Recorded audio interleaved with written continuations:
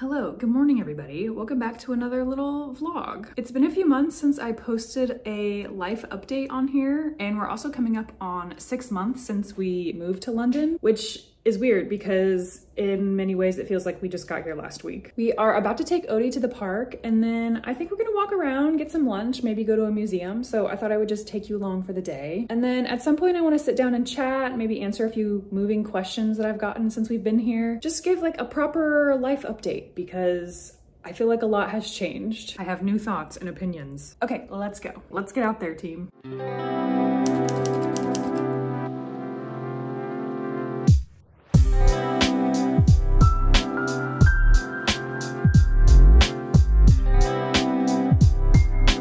We ended up walking around the park, playing frisbee, of course. We haven't had a lot of hot days yet, but we're definitely getting more into summer. We are seeing the sun now. We stopped at an ice cream truck and shared a cone, which Odie thinks is the single best thing ever. He will actually get upset sometimes if we pass an ice cream truck without buying any.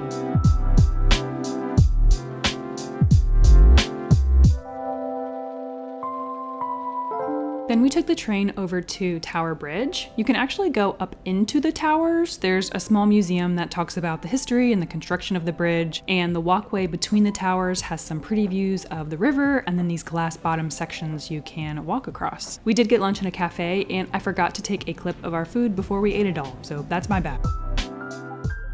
Okay, it is a new day. We're home right now. I'm doing a little bit of crafting. I found these cool keys on Etsy. They look like little magical skeleton keys and I wanted to turn it into a magical flying key. So I embroidered this mossy hoop, which took forever. And then I have some monarch butterfly wings that I'm working on that I used wire for so I can cut them out and then attach them to the key so it looks like a little magical butterfly key. That's what I'll be working on because I don't know what to do with my hands. You could just hold them down by okay. your side. Yeah, great. I asked you guys on Instagram to submit any questions that you had for me about London or any topics that we could chat about and I did get some good responses so we can get into those now. Number one is how are you feeling now? I hope you're adjusting better. Lots of love. Um, thank you for that. That's very sweet. I am doing much better now. I'm feeling a lot more comfortable. Life has kind of calmed down now that we've been in this flat for a bit, kind of settled more into a new routine. I know my way around the neighborhood. I'm using the tube easier. I know how to find things in the grocery store now. Yeah, just like all the mundane life things that come with time and repetition. Everything doesn't feel as new and scary as it did five, six months ago. I'd say overall things are good. We spend a lot of time in the park with Odie. I kind of keep a running list on my phone of London sites and things that we want to explore. So on the weekends when we're free, we just kind of like pick something and go check out a new part of the city. Most of it is like gardens, museums, cafes, markets, that sort of thing. But I think we're having fun now exploring the city and we're starting to really enjoy being here. It was a little rough going. I'll admit at first I, I really struggled those first few months with the change, but it's getting easier the more that we're here. I'm also just in a better headspace myself as far as just accepting that everything's not gonna be perfect and I'm gonna make mistakes and things are gonna go wrong and that's okay. That's just part of it. Uh, these next two questions I put together. One, do you miss the US?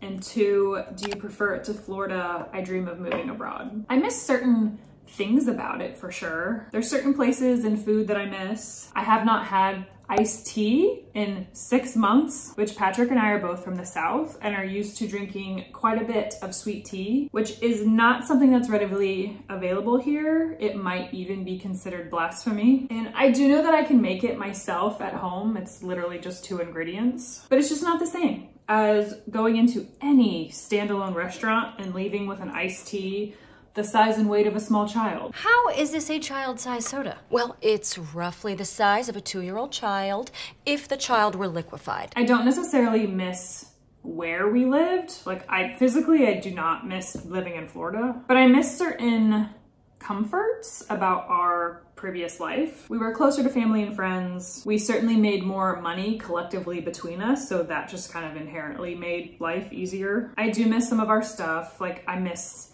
having more space, a bigger apartment. I miss our full size washer and dryer. I used to only have to do laundry once a week and now we do laundry every single day here because our washer is teeny tiny. I miss free refills at restaurants and Mexican food with giant portions of beans and rice. Uh, these two questions I combined together anything you were stressed that you'd miss that didn't turn out to be a big deal, and how is your food shopping going? I was stressed about grocery shopping and like finding a grocery store here that we liked as much as our US stores, which if you're unfamiliar, grocery stores in America are like a cultural expression of freedom, liberty, glutton and capitalism. I love those memes that are like, the European mind can't comprehend, and then it's a photo of just like a Chili's in a giant parking lot. Red, white, blue, mother these colors don't run. USA! The European mind can't comprehend a Southern Publix the day before the Super Bowl. God bless our troops. God bless America. And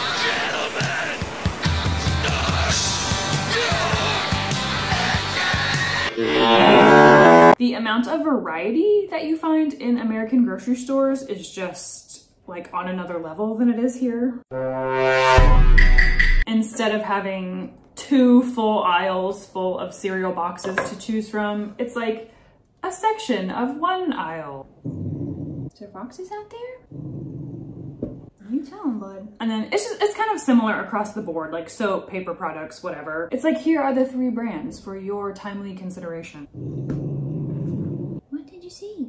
You out there? Oh my gosh, that's crazy. Initially, this kind of shocked me, but you really just adapt. And the longer that we're here, the more of a non-issue it is. We found a routine with our shopping. We also get like half of our groceries delivered now, which has significantly reduced the amount of trips that I have to make to the store each week. And sometimes it's actually kind of nice not being constantly overwhelmed by options. Next question, what's the oddest thing that you wouldn't find in America? Example, most produce packaged in the UK. The first thing that comes to mind when I think of packaging is actually cigarettes. Cigarette cartons here are packaged with very graphic images of premature babies, blackened organs, mangled limbs, very ominous, very off-putting, and you don't see that in America. Cigarettes are still marketed there with Excuse me. Cigarettes there are still marketed with very colorful branding and logos, not unlike Pepsi Cola. Something that's different here too is the portions of things. The portions are typically smaller here. So for instance, Oreos come in a singular sleeve of Oreos versus like a briefcase of Oreos. It's also interesting to see international brands here like Kellogg's will have the exact same packaging, but the product will be called something a little bit different, like Frosted Flakes, for instance. Same cereal, same brand, same Tony the Tiger, but they're called Frosties here. Or Cinnamon Toast Crunch is called Curiously Cinnamon here, which is arguably way more British sounding. The next two questions, how are you adjusting to public transportation and do you miss driving? Uh, I'll start by saying that I love trains. I think that trains are the superior elite mode of transportation. I have not driven a car in six months, which is really weird considering I've driven a car almost every day since I was 15. The US is just a very car-centric country. Most people have a car, everybody drives. Things are very spread out geographically in the US and most cities don't have public transportation in a way that is convenient, reliable, efficient, etc. I do miss the convenience of driving sometimes, like just being able to go to the store and knowing I can load up my car with whatever I buy. And also maybe the solitude of traveling by myself in my own little air-conditioned bubble and not pressed up against some young gentleman with BO. However, I do not miss the maintenance of owning a car, the loan, insurance, oil changes, gas, tire pressure, like none of that. I also don't miss driving itself. I have never liked driving. It stresses me out. I like being a passenger princess. Also, I don't like sitting in traffic. There's pros and cons with having a car, just like there is with public transportation. But I do think the public transportation here is really neat. It's convenient, it's efficient. I like that I can just play games on my phone and not have to worry about driving or finding a parking spot. It did take me a few weeks to like get my bearings and kind of understand how the trains worked, what direction I needed to go, what platform I needed to be on, all of that. Obviously the maps on my phone were a big help with that, but it did still take adjusting to. But for the most part, I like it. I like that we can just hop on a train or the bus and get to where we wanna be. We, you don't have to have a car here. The cons are definitely there. Is it the cleanest thing in the world? No. Does it suck when it's a hot day and it's rush hour and people are packed in there like sardines and sweaty and smelly and breathing each other's air?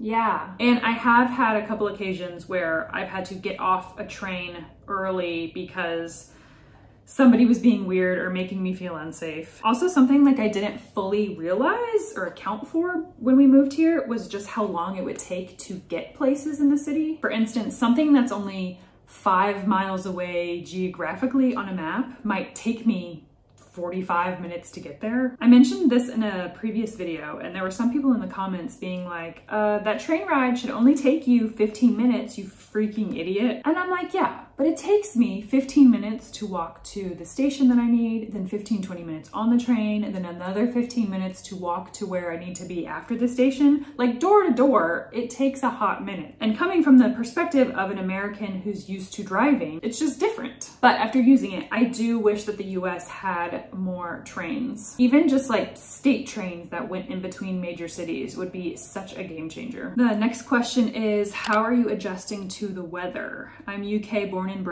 and rain still gets me down. I think maybe it's just human nature to want what you don't have. Because to me, uh, like Florida weather is swampy, uninhabitable hellscape. But when I mention to people here that I'm from Florida, the normal reaction is to kind of be like, and you came to this weather alternatively. But because of that, I am loving the weather here. I hate being hot. It is July and I can still wear long sleeves and be comfortable. Meanwhile, summer back in the South means that it's 100 degrees every day for seven months. I'm not super bothered by rain. Um, the only time it's really been a hassle was in the winter when it's freezing and raining and my dog needs to go outside. What has bothered me more than the rain has been the like a daylight discrepancy because England is so much farther north than where we were living in the US. The daylight slash daylight savings phenomenon is super different. When we got here in January, it was winter and the sun would set every day by 4 p.m. And then it's pitch dark by 4.30, which was so weird and really messes with your brain chemistry. And now that it's summer, we have that same problem just in the opposite direction. So the sun doesn't set here until like 10 p.m. I'm getting into bed some nights and it's still bright as day outside.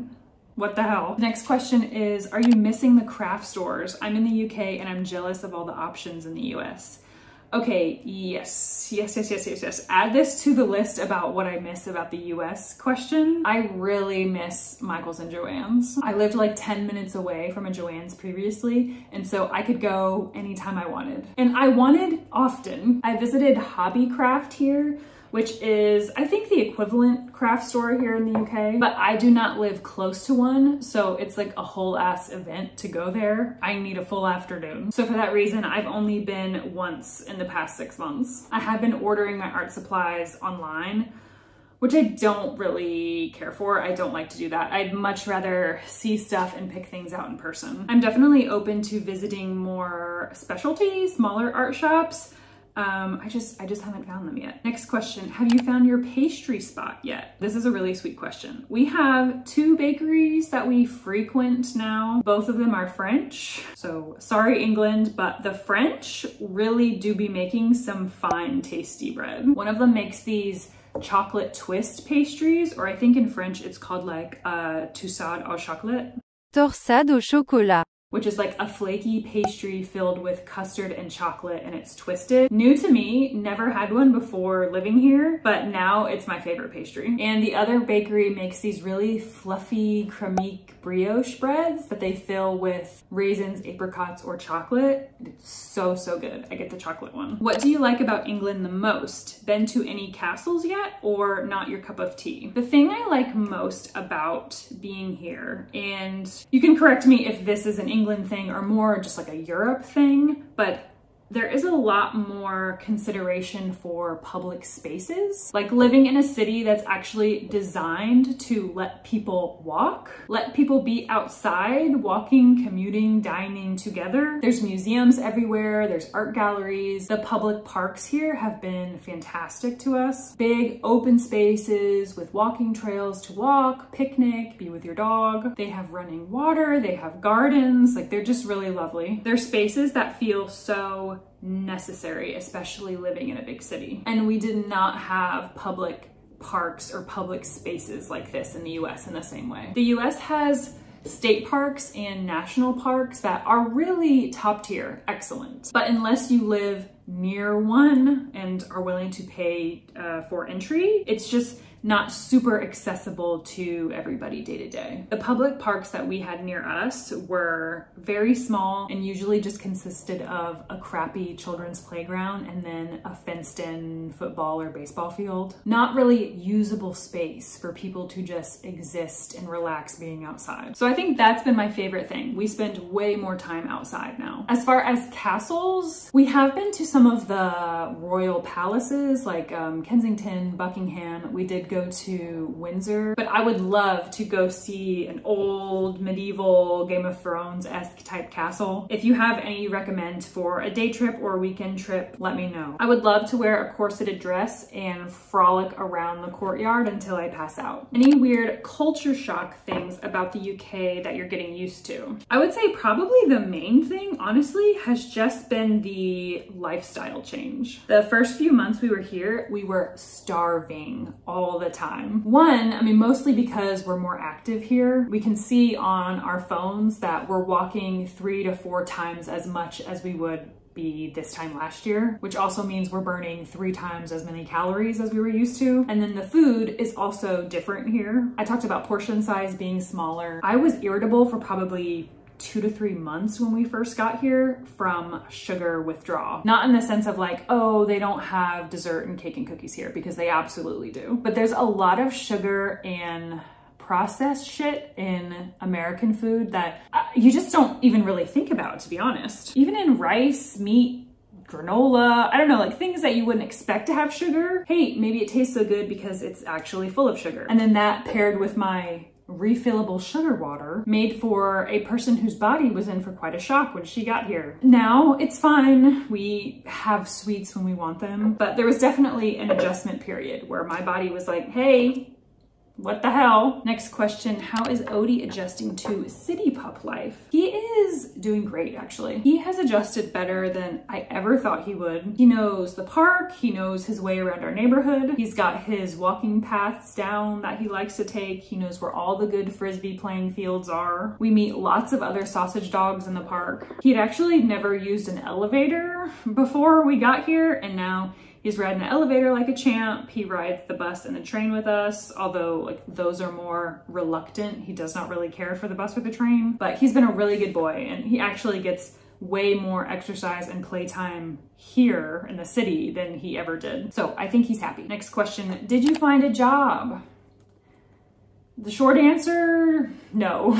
The job market is horrendous right now. I have applied to hundreds of jobs in varying industries. I've updated my resume a dozen times over. I've done all the personalized cover letters. I've used every job site, career page, temp agency, and I've got nothing to show for it. I did end up getting a part-time job that's just uh, hourly minimum wage, like retail type situation, which um, is, is not great, but I don't know. I'm just trying to stay positive. At least it's something. It kind of forces me to get out of the house and talk to other people. It's it's earning a little bit of money and hopefully it won't be forever and eventually something else will come along. This next question is kind of random out of left field, but it's will you make a books recommendation video? I assume this question was asked because I talked about some books that I had enjoyed in a previous video. It is so sweet that you would be interested in that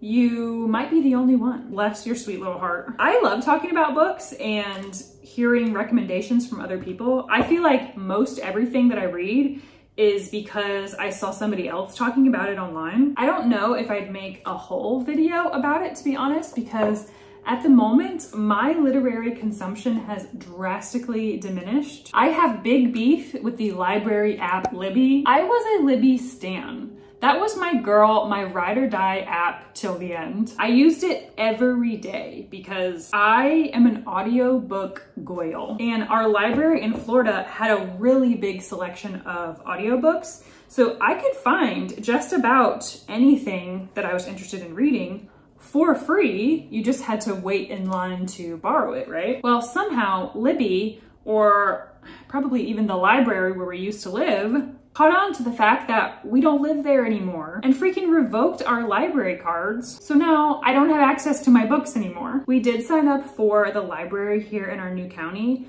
but their selection of audiobooks is garbage. They have nothing. So now I can't listen to my stories. Spotify has some audiobooks on there now, but you only get 15 hours of audiobook listening time per month, which is only like one book if you're lucky. Libby, how could you do this to me? I was rooting for you. We were all rooting for you. And the last question I got was, any trips planned outside of London? So one of the draws to us moving here actually was the opportunity to be able to travel Europe cheaper and faster. And that was originally the idea, but unfortunately, into little surprise, I am emotionally attached and dependent on my dog in a way that should be studied by neurologists. I need him in a way that was not intended when our ancestors domesticated that dingo. It's also very difficult to travel with pets in and out of the UK because they're not allowed on flights or in the the Eurostar, like the train that is the high-speed train that goes from the UK into the rest of Europe. And I cannot leave my baby with a stranger. I mean, look at him. I'm a little baby. I'm a baby. I have no money. Until we make some friends a friend that I can truly trust to leave him with. I think all of our travels are kind of going to be strictly within the UK so that he can come with us, which is really fine for now. I mean, there's so much here for us to see and do. He can travel on the trains domestically within the UK. There's some weekend trips that we want to do. I think next year we really want to go to Scotland and maybe spend a week there. In the fall, we're going to spend a couple days in the Cotswolds, which is like quintessential English village countryside. It is stunning. I'm very excited for that. And last month in June, we actually spent a few days in Bath, England for Patrick's birthday. I did film some clips of that trip, but I felt like it wasn't enough footage to put into a video of its own. So I think I'm gonna end this vlog with some of those clips from that trip. But thank you to everybody who asked questions or has sent me advice or well wishes since we got here. I really appreciate it. Most of you guys who watch my channel and interact with me are sweet baby angels. We love you. Thanks for being here and enjoy these clips from Bath. Oh, one more thing. Nobody asked this question, but I'm gonna pretend like you did, which is I wanted to give an update on how our foxes are doing out in the garden. The fox that we were referring to as Fantastic Mr. Fox is actually a lady fox. She had three fox pups back in, I think we first saw them in April, maybe? They were so cute. And in just a couple months, they've grown into big, angsty teenagers who fight and bite all day back there. I do definitely see now why people think foxes are a menace. They are loud. They cry and scream at each other through the night. Every single night they go through the dumpsters and the trash cans and make a huge mess out there. They dig holes, they chase stray cats. So I definitely get it why people don't like them, but I still think they are the prettiest, most magical little creatures. I love seeing them every day. They're definitely have turned into my like favorite happy animal. Okay, that's it. Back to the clips.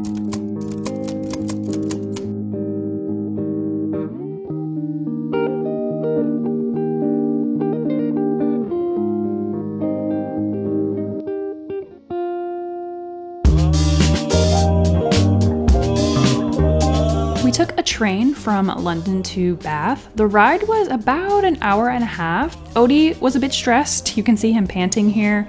He does not like traveling at high speeds. He thinks it's unnatural. Once we got out of the city, the view changed into countrysides, farming fields, which was lovely. We saw lots of sheep and cows. A lot of the architecture in Bath is this Georgian era yellowed stone facade, stone walkways. It's really pretty. It feels like you should be in another time, truly. We rented a pet-friendly Airbnb that I thought I'd show because it was really cute. It had a living room with a fireplace, dining area with a pink kitchen that was super fun. The host had a box of dog toys, which Odie immediately found and made himself comfortable. Here's the bedroom, which was also very cozy, but the main reason I booked this place was the private garden space in the back. I mean, come on, look at this place. The roses, the string lights, the garden shed. Look at my boy. Look at my little boy in the grass. If this was my backyard, I would simply stare at it all day.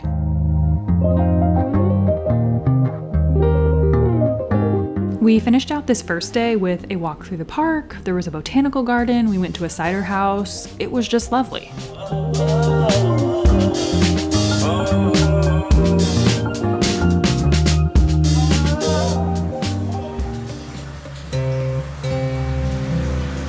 The next day, we did some of the more touristy sites. I thought this shop window was really cute. It had all these novelty teapots shaped like ovens, sewing machines, toasters, toilets. They had Alice in Wonderland sets and Paddington Bear and Peter Rabbit merch. The legendary dancing bean. I mean, say less. We went to the Roman baths. This is a genuine bathhouse from when the Romans occupied Britain. This is so old, it's hard to comprehend that it still exists. This was a really cool museum. The self audio guide was fantastic. It had different soundscapes for each room, made it feel more immersive. Then we went into Bath Abbey.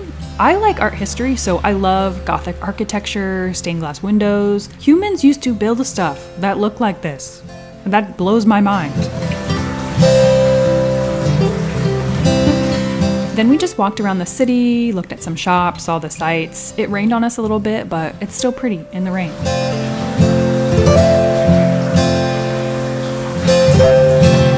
We walked around this famous circle of buildings, and I saw this basement flat with at least a dozen creepy dolls in the window. So one can only assume that some harrowing Annabelle Chucky shit is happening down there. What else? We saw the Jane Austen Center, and I had hands down the best cinnamon roll that I've ever had in my entire life.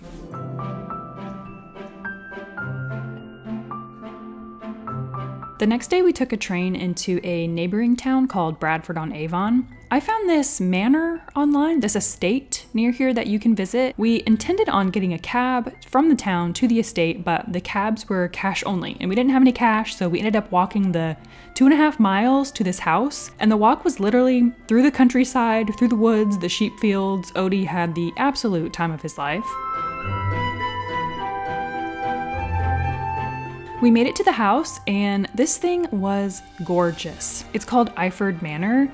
It's a private residence, I think, technically, but you can stay here. They have a cafe, gardens you can visit, and you will see why. This was the prettiest home I have ever seen. It was the secret garden.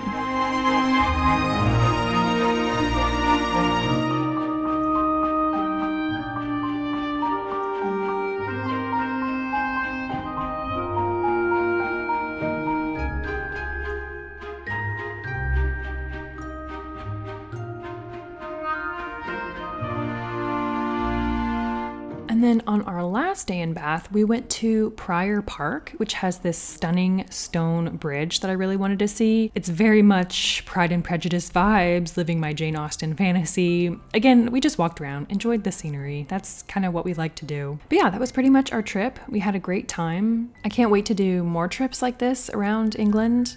Thank you again for watching, and we will see you next time. Bye.